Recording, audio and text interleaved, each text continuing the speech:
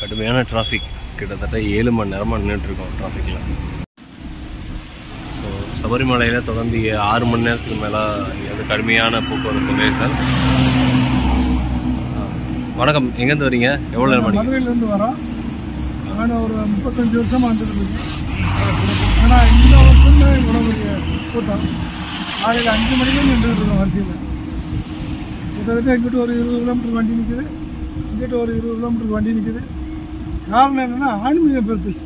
என்னை பொறுத்தளவு முப்பத்தஞ்சு வருஷத்தில் பார்க்காத கூட்டம் சொல்லுவேன் மக்கள் ஜனதா ஏகப்பட்ட கூட்டங்கள் நடக்குது. பாருங்க பாத்ரூம் வசதி இல்லை. தண்ணி குடிக்கிறதுக்கு தண்ணி கிடைக்கல.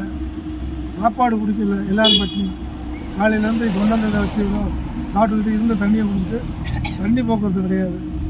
ரொம்ப சிரமப்பட்டுக்கிட்டு தான் இருக்கோம். சுருக்கமாக சொல்ல போனால் ஆன்மீகம் மக்கள் ஆன்மீகம் பெருத்துருச்சு. கூட்டங்கள் நிறைய ஆரம்பிச்சாங்க இருந்தாலும் போலீஸ்காரங்க இது எதுவுமே ஒரு ரெஸ்பான்சிபிள் இல்லை.